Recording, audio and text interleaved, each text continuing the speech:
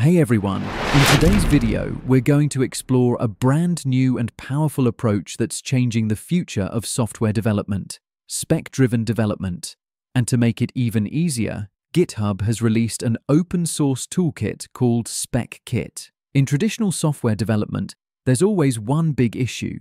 We start by writing specifications, but once coding begins, those specs are often ignored or outdated, and the final product doesn't always match the original requirements. Here, the specification itself becomes the hero. Specs are no longer just documentation, they're executable, and they directly generate working code implementations. What is SpecKit? SpecKit is an open source toolkit from GitHub. Its main goals are build high quality software faster, shift developer focus from writing boilerplate code to solving real product problems. Let's quickly see how SpecKit works in practice. First confirm is UV installed or not. If not the run the command python-m pip show UV. If it is not install the run this command in terminal python m pip install UV after that. Let's quickly see how SpecKit works in practice. First install specify run the command and give the project name and you can see the GitHub Copilot, Claude Code, and Gemini CLI. I will select Gemini CLI. You should install Gemini CLI in your system. Now I will open the Visual Studio Code and select the project folder. Inside First Projects folder, you can see the Gemini folder, Memory folder, Scripts folder, and Templates folder. Secondly, create the Write Gemini in the terminal and spec it starts. spec just describe what you want your app to do. Specify build an app to organize photos in albums by date with drag and drop. Notice how simple that is. You didn't talk about frameworks, databases, or even file storage.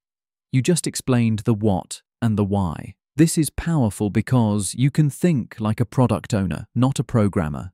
Teams can agree on specs before writing a single line of code, and the spec itself becomes executable meaning it can generate working implementations later. Once your spec is ready, you move to the planning phase.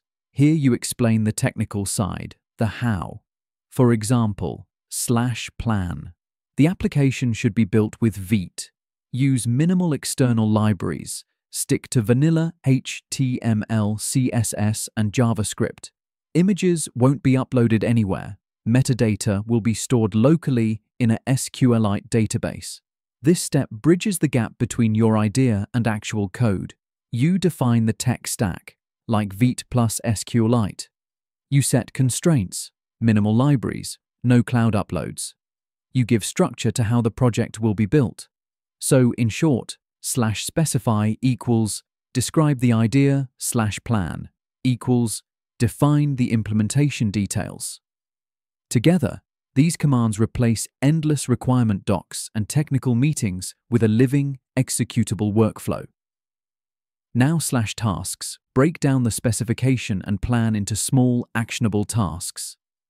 Each task should be implementable and testable in isolation. Write tasks in clear, developer-friendly language so that I can review them one by one. This will output a task list like Set up project with Vite Create database schema for albums, add drag and drop album reordering, build tiled photo preview grid. Now, you or your AI coding agent can pick these tasks one by one and implement them. The philosophy behind spec-driven development is really interesting. Intent-driven development first define the what, then the how, rich specifications. Built with guardrails and structure refinement process, not just one-shot code generation, but multi-step refinement AI-powered. Advanced AI models interpret the specs and generate real code. So that's an overview of SpecKit and spec-driven development. What do you think? Is this the future, where specs directly become code and developers just guide the process? And if you found this video helpful, don't forget to like, subscribe, and hit the bell icon so you never miss out on future videos about AI and development.